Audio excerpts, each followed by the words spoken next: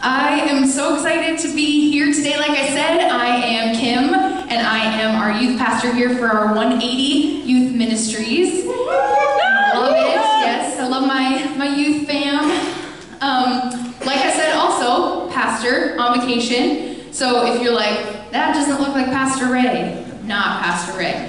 So he is on vacation, but he will be here next week with us. So um, yeah, just be praying for the, the trip back home his family. So my youth students know that I have some weird fears, and I will not be telling the really weird ones because I will never live it down. so if my youth family wants to share with you later about what those weird, really weird fears are, they can go ahead. And I give you permission. But I will not be sharing that today. But some of my other weird fears, I'm afraid of the dark. I know. I'm 27 and I'm afraid of the dark. I'm one that, like, when I have to go to the bathroom in the middle of the night, I take my phone, flashlight all the way up, you know, and I'm like, and I run to my door in my room and turn on my room light. I literally turn on the light in my room because I don't, I'm scared of the dark. And then I like open the door and my bathroom's like right there and I'm like, first you gotta show the flashlight, is anything there? No? And then you run over and you turn the flash or turn the light on really fast. And yes, even when I'm like going to bed at night or even after I go to the bathroom, I am one that like holds the light and as I'm looking at the bed and I turn it off and I run to bed. I don't know, I'm just afraid of the dark. I have this weird fear randomly, not all the time, that when I'm going 80 miles an hour down the highway, down the interstate, all four tires, they're just gonna fall off. Yeah, who fears that? No. Horrible. And I fear roller coasters.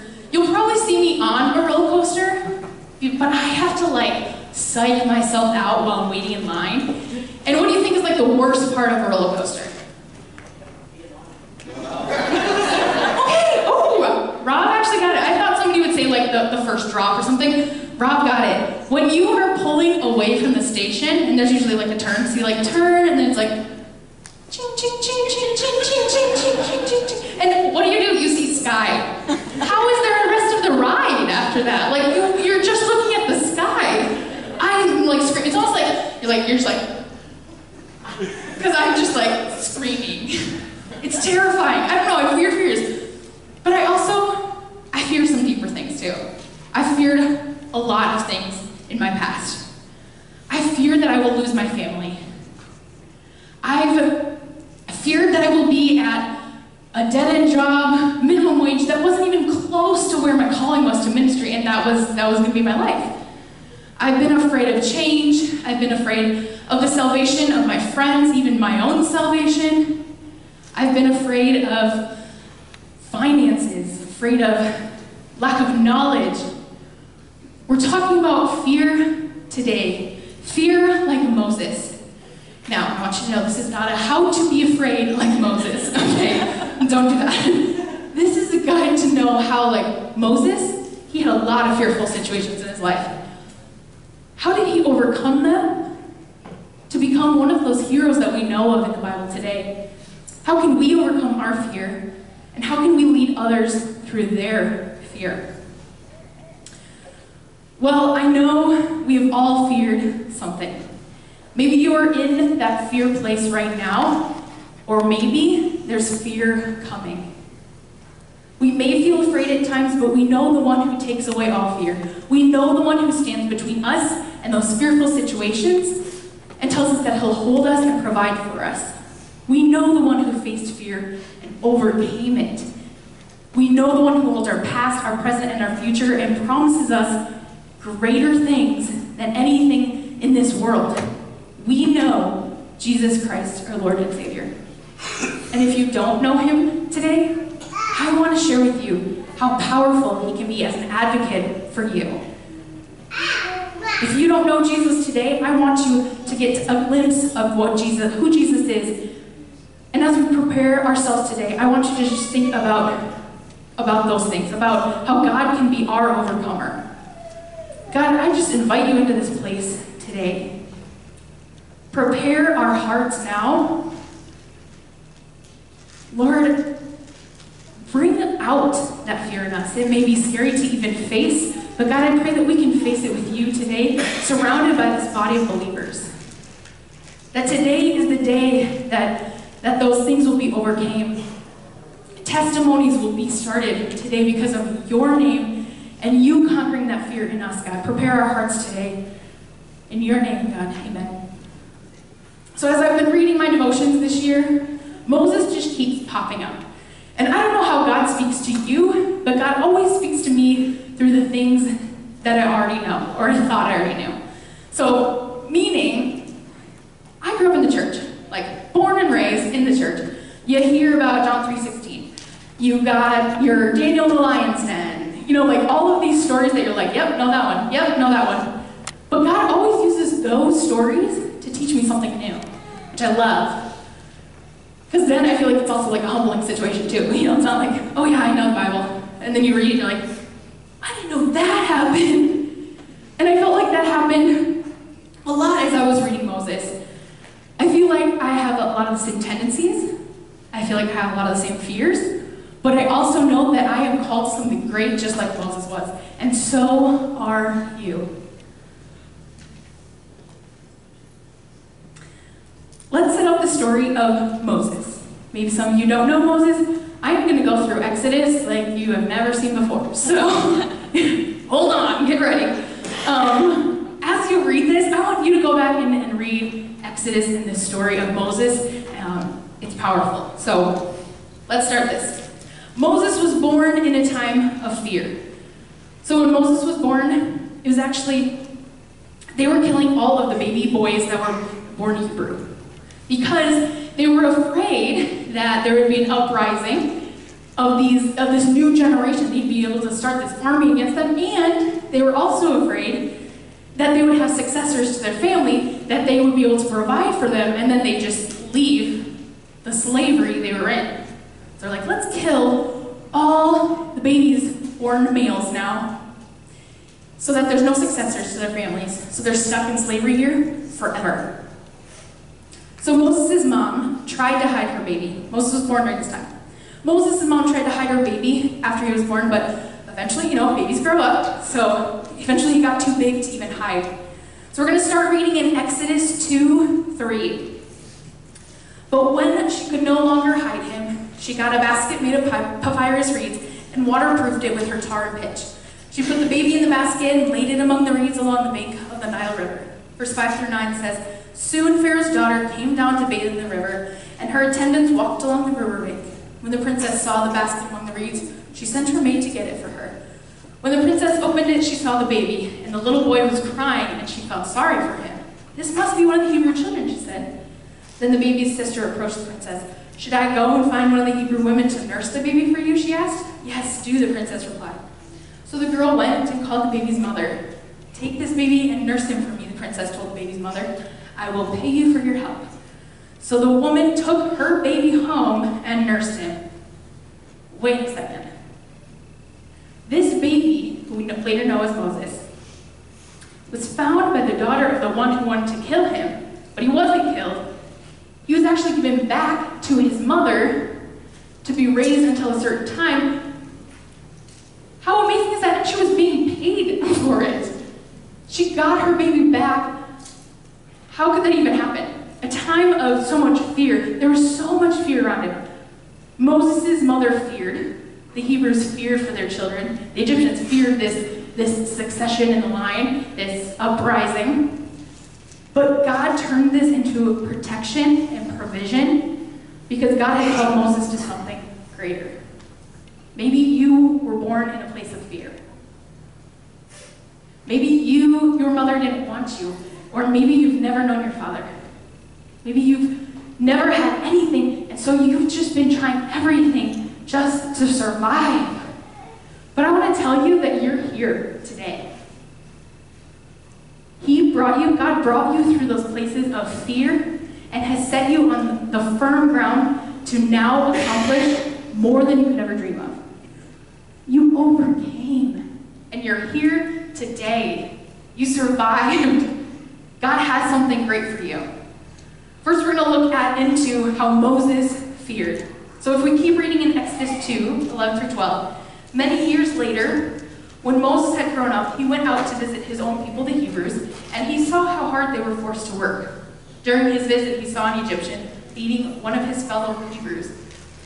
After looking in all directions to make sure no one was watching, Moses killed the Egyptian and hid the body in the sand. And it goes on to say that the next day, he came up on two Hebrews fighting each other. He's like, hey, hey, hey. They're like, what? Are you going to kill us like you killed that Egyptian? He was like, Ugh. verse 14 says, Then Moses was afraid, thinking, everyone knows what I did. And Pharaoh tried to kill Moses for what he did, but Moses fled. He ended up in Midian.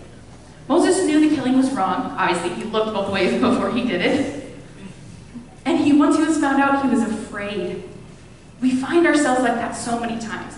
It doesn't have to be murder, but we make a choice and then we realize, ah, I shouldn't have done that. I knew I shouldn't have done that. And now you're afraid to be found out.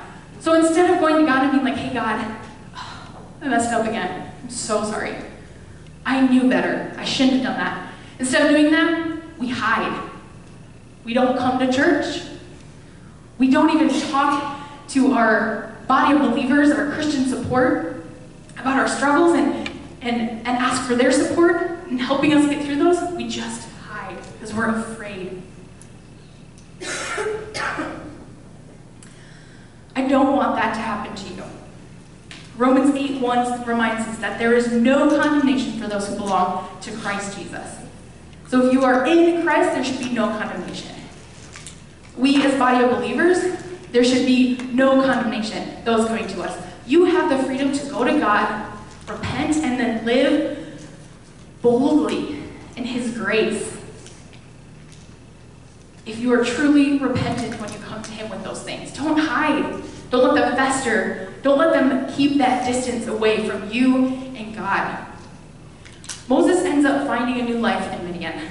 He saves the daughters of the high priest, and he actually marries one of them, Zipporah. They stay there in the desert of Midian, um, serving Jethro, the high priest, um, Zipporah's dad. And one, so many years later, one day they're in the desert, and Moses is tending his father-in-law's flock, and we see him have an encounter with God. So if you go to Exodus 3, 2, it says, There the angel of the Lord appeared to him, to him in a blazing fire from the middle of a bush. Moses stared in amazement. Though the bush was engulfed in flames, it didn't burn up. So the Lord spoke to him through that, and he, he was like, Don't come any closer, but take your sandals off because you are on holy ground. And he obeyed. There's a voice coming out of a burning bush. You know, what would you do? No? Are you going to burn me up? You know, like, yes, okay. And then he hears it say, I am God. And it says in verse 6, it says that he covered his face because he was afraid to look at God. So was this like that holy reverent fear, or was this like, oh, I just got found out fear? I'm gonna say, I think it's both. I mean, he had spent so many years in the desert, he knew what he did, right?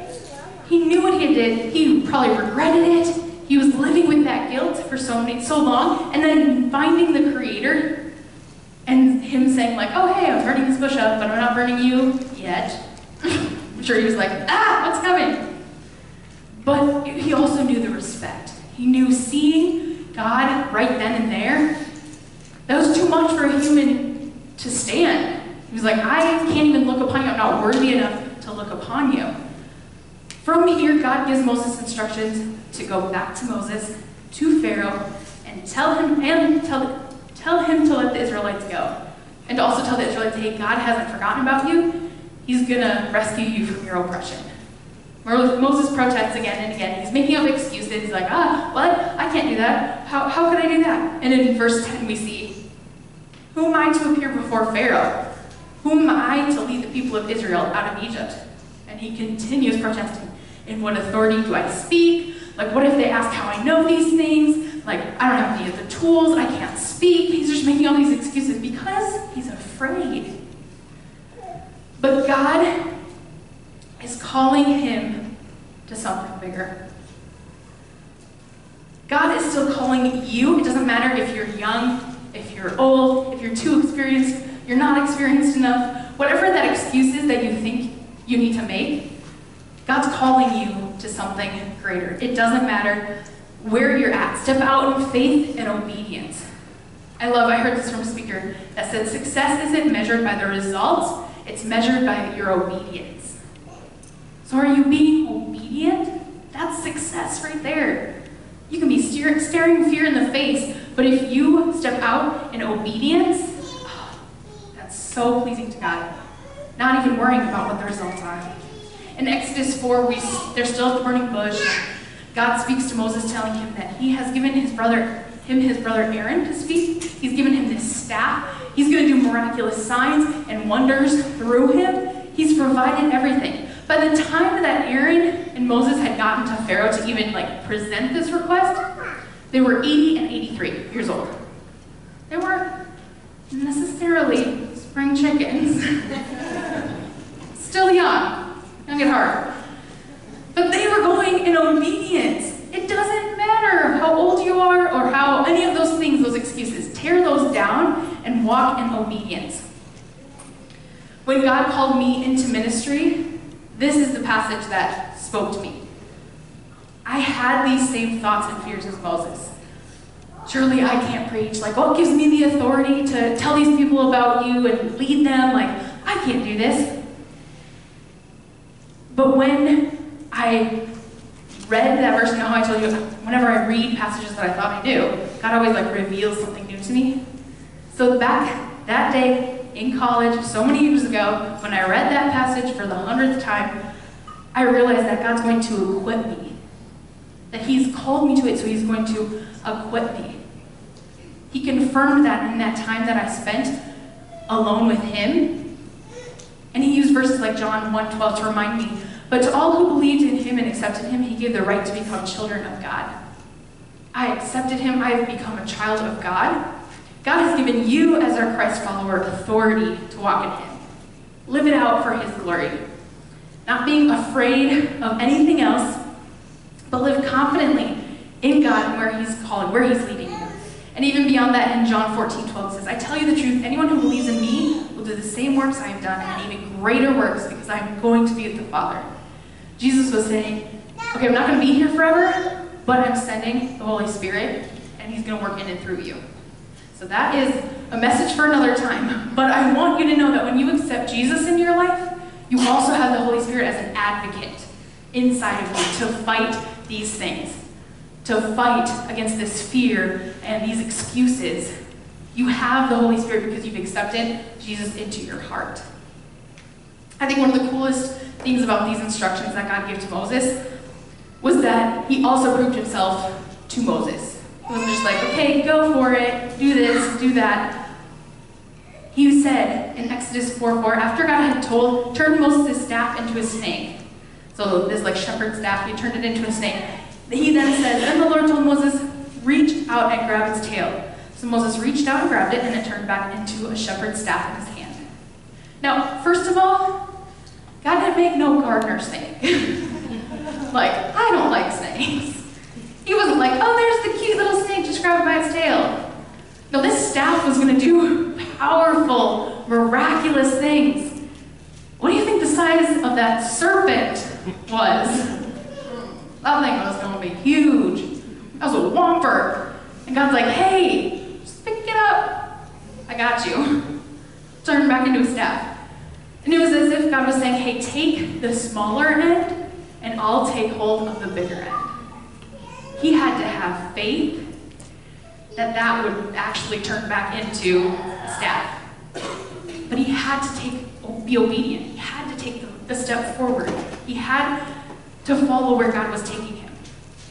God was giving him authority to do miracles, but God was also saying, hey, I won't let it bite you in the end. I've got the control of it, and I'm going to be there for you through it all. Because it's God's work, not Moses' work. And I wanted to clarify that too. I think as I was, you know, preparing this message and going over it, I was like, I hope they see that I'm not saying, hey, be Moses or be a staff. I'm saying, let God equip you to do his work and give the glory back to God. I want you to see that through this message. So after all this instruction from God's voice, coming out of this burning bush, Moses goes back to Egypt. He takes his family, his brother Aaron goes with him. He's being obedient to God. So I love Psalms 23 4. It says, Even when I walk through the darkest valley, I will not be afraid, for you are close beside me. Your rod and your staff protect and comfort me. So I want you to know that this is actually David saying this. But I just see Moses having to say that to himself as he's traveling back to Egypt, being like, I'm going to face all of these people and be like, hey, let this whole nation, all of your slaves, go. He had to, I feel like he had to say this over. I can just see that as he's walking, as they're traveling, as, as they're making their way back. Even when I walk through the darkest valley, I will not be afraid, for you are close beside me. Your rod and your staff protect and comfort me. I want you to, to remember this. Either write it down, take a picture of it, post it somewhere, because if you aren't in that dark valley right now, it's going to come at some point, and you have to be prepared for it. Be prepared with this verse to just speak it out. Like, no, I am remembering that God is with me. He's given me the strength to face whatever comes. So in Exodus 7, it recounts the story of Moses and Aaron going to Pharaoh, pleading with him to let the Israelites go. And just to worship God, but he refused. So just like how God had directed, Moses and Aaron took their staff, and it turned into a serpent. And then Pharaoh was like, oh, nah, I'm not falling for that. So he takes his magicians, and they turn staffs into snakes. But they're magicians. What do they do? They do tricks. So God had made these miracles happen through this staff of Moses and Aaron's, but Pharaoh was twisting it to make it into a trick.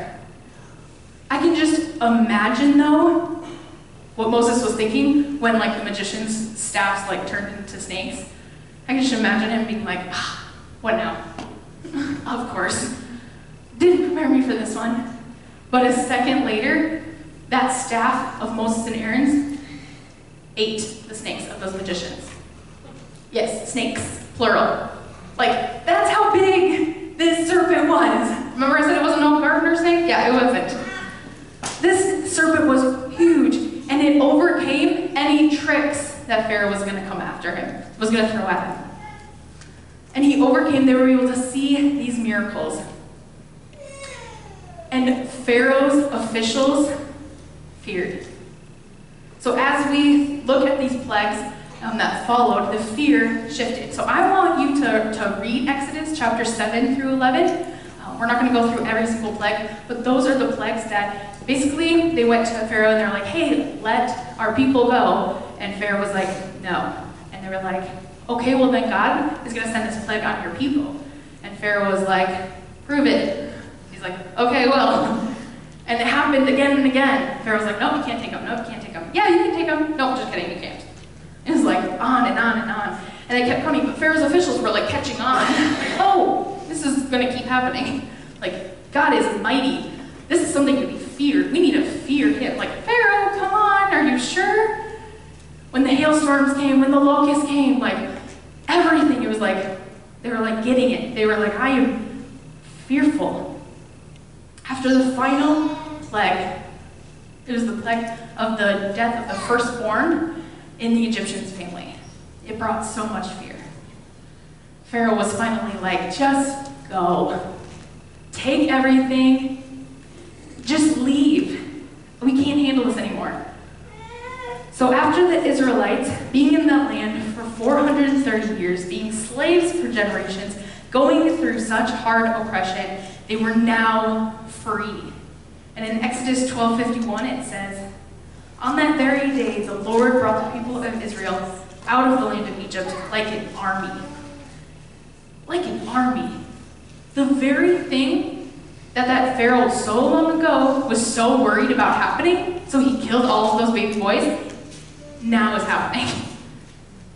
Like man can't stand in the way of what God's going to do. I just love that God had redeemed his people using one of those surviving babies from so, so far back.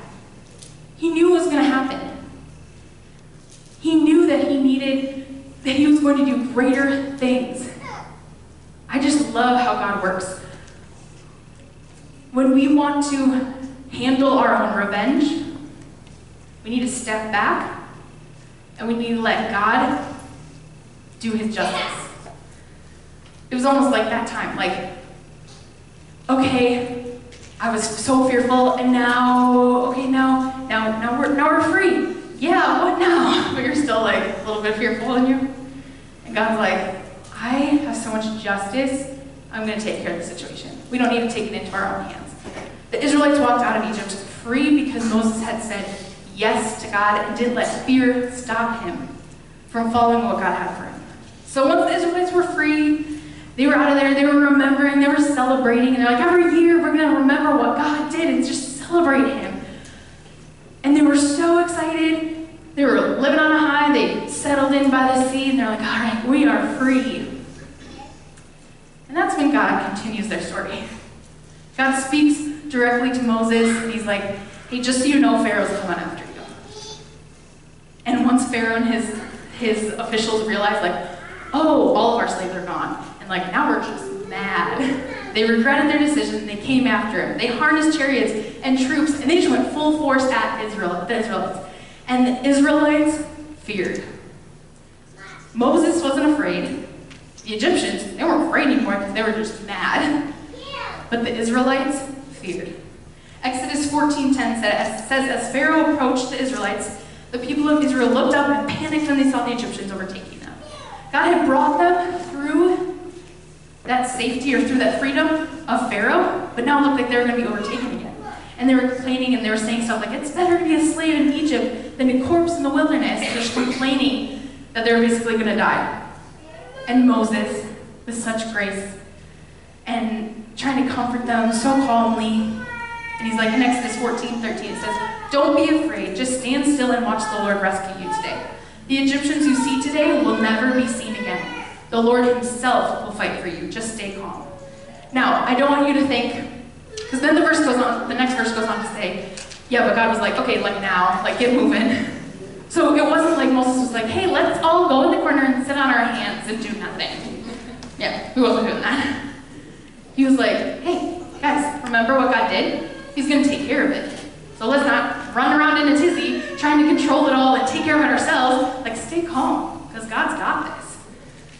And remember that part where it says, the Egyptians you see today will never be seen again, because we're going to bring that back. So Exodus 14, 16 says, God told Moses, pick up your staff and raise your hand over the sea. Divide the waters so the Israelites can walk through the middle of the sea on dry ground. And in verse 22 it says, So the people of Israel walked through the middle of the sea on dry ground with walls of water on each side. Moses' faith proved to be in the right place. That staff that God had used so many times before, he was using it again, and he brought this mighty wind to push the water to one side and the other side up. So it was like this wall of water as they walked through on dry ground to the other side. As the last person was safely on the other side, God made the waters go back. And it was when the Egyptians were in that area, where were in the water, because they were coming after them, right? We read that. So the second half of verse 28 says, Of all the Egyptians who had chased the Israelites into the sea, not a single one survived. So remember when we were reading in verse 13? They're like, ah, Moses, we should have just stayed there and been slaves and all stuff. He's like, but the Egyptians that you see today, they're going to be gone today. And then right here we see all of them that followed, not a single one survived. He was stepping out and speaking in faith. We need out in faith. So there's a quote Martyn Lloyd-Jones says, and he says, Faith is refusal to panic. And I feel like Moses took that opportunity before they even went into the sea to say, I'm not going to panic. I'm going to have faith.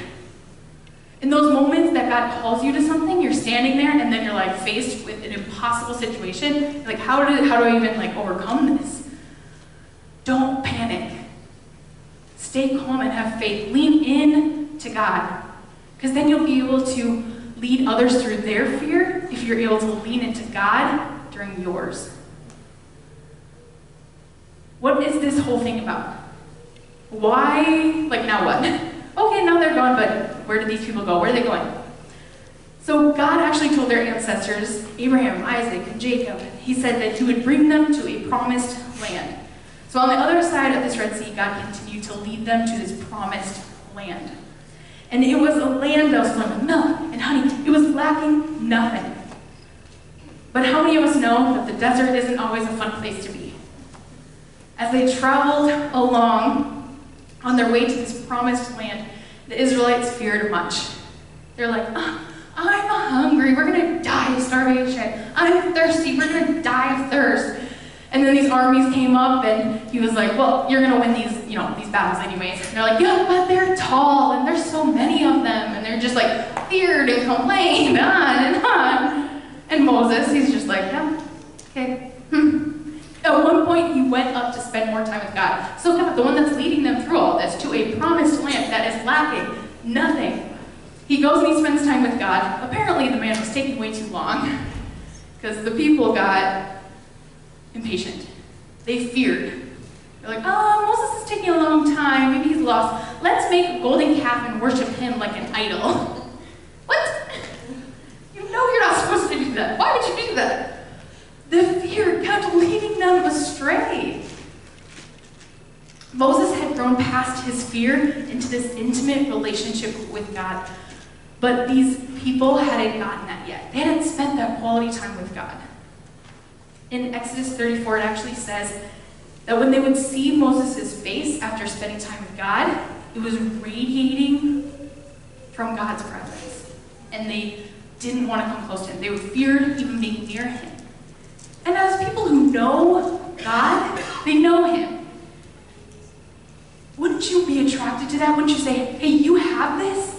How do you have this? Where did you get this? Like, I want to know more. I want to radiate like that. But no, it's like they had a taste of God, but they had put so much distance between them and God that they were foreign to the concept of God's presence. Don't let that happen to us. Don't stay away from God so long that you fear the very presence of God in others. You can be in that place where you radiate God's joy and His love and His presence if you spend the time with Him. Don't be afraid to come near him. He's not going to like smite you right there. He loves you. He has so much grace that I can't even begin to understand. Come to him, spend time with him, listen to him. He has so much to share with you and so much to empower you with, but you have to spend time with him. God has made everything beautiful for its own time. Ecclesiastes 3:11. So God doesn't allow the hardships just to happen just for fun. It's like a learning experience. you gotta learn. When you were learning to walk and you fell, or when you maybe cheated on your first test, you got found out. Those things, the whatever happened afterwards, you know, the falling and hurting or the consequences from cheating, those things happen so that you would learn. That you don't keep living the way you're living, that you learn from your mistakes, that you, you keep growing, keep going. Those times where you're in the wilderness, have, have them be a time of learning. It was in the wilderness that Moses picked up that staff that God used for miraculous times. The wilderness that's just harsh, barren, probably boring at times, but it was a place that he picked up a staff, just thinking, hey, I'm equipped with a staff, I'll take this. And God used it to do miracles. God will use you to lead people through their own wilderness if you can just lean into God through yours. Stay close and He'll bring you through with more knowledge than you had before. So then in Deuteronomy, we see that the fruit of the fear of the Israelites. So Moses was, Moses was supposed to share with the Israelites hey, by the way, this generation is not going to be able to see or get into the promised land because of all that happened. Not even Moses got into the promised land. He saw it, but he died right outside of it, not being able to go into the promised land. But their children, they were able to see and go into the promised land and be in that place flowing with milk and honey, lacking nothing. They got that promise. I love what Steven Furtick says.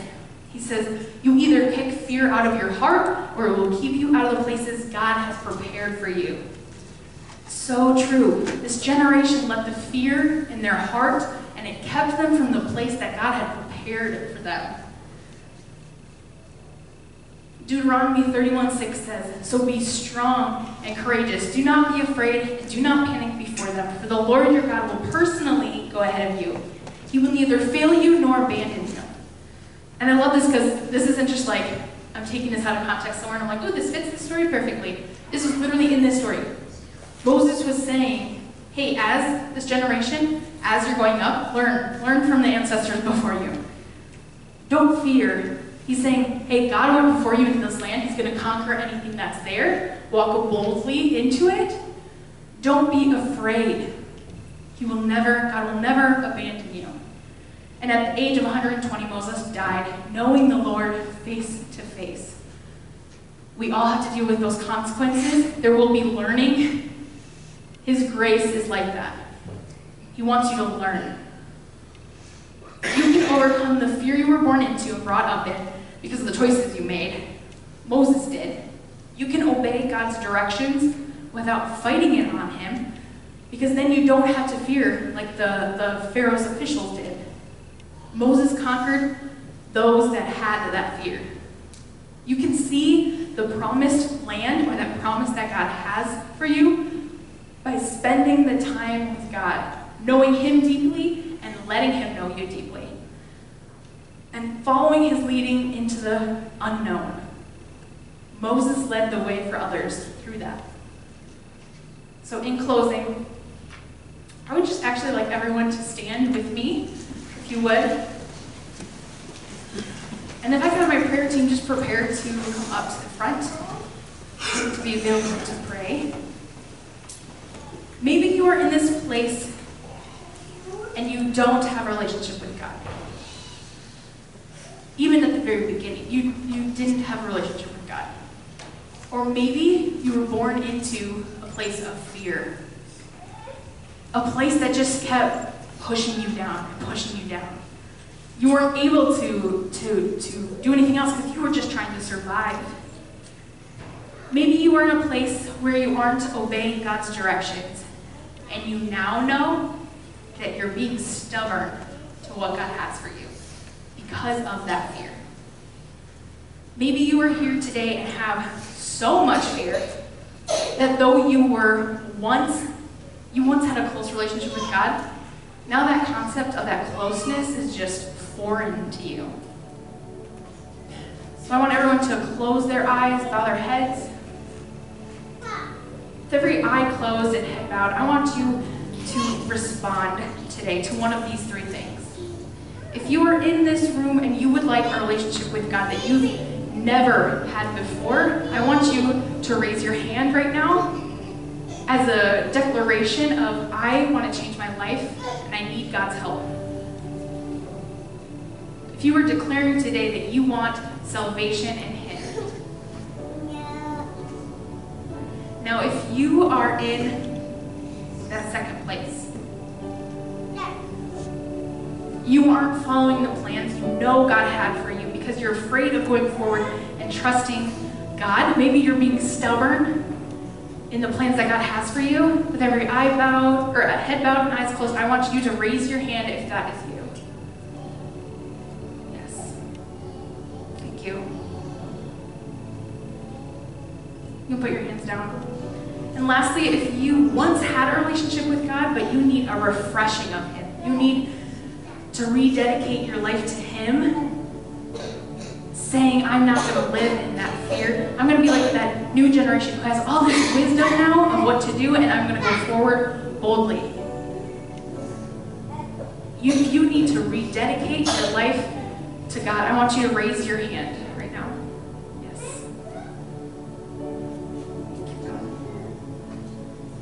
Thank you. You can put your hands down. God is so good. He sees you. God, I thank you so much for this morning. God, for those that are coming to you that have never come to you before. God, I pray that you would fill them with grace and hope. Lord, those of us who have been stubborn to what you've called us to, fear and hold ourselves back, but God, that we would just step out in faith and follow you. And God, for those of us who need to rededicate our lives to you today, God, we step into that unknown, but with faith and with strength. Lord, we rededicate our lives to you today, and we're not looking back. Take away that fear. Fill us with faith. I thank you so much for the lives changed in this place today. We dedicate our lives to you today and every day, and we walk into your presence every moment of our day. God, be with us as we go from this place, and I pray that you would continue to help us overcome. And in your name we pray, amen. Amen. If this time, if you are one of those that raised your hand, I would love for you to come up and pray with our prayer team. It's praying in agreement with somebody else. Or if you just are like, I just need this time to, to stay and sit in God's presence, I want you to come up to the altar and just be here. Just let God speak to you. Let God change your life and ask for prayer. That's what we're here for. That's what we talked about too. Is that we're a body of Christ, we're body believers. Don't run and hide. It's so easy to do it. We've all done it. Come up here and, and just present yourself before God and say, Hey, God, I want more of you. I want to rededicate my life. I want to move past that stubbornness. Come at this time, and if you are feeling that you need to leave, excuse me, then I pray that you would just go out boldly in God's presence, that you would just be safe if you go from this place, you would have a great rest of your day, that you would be in the hands and feet of Jesus as you go, go from here. excuse me. And have a great rest of your Sunday. Thank you all so much.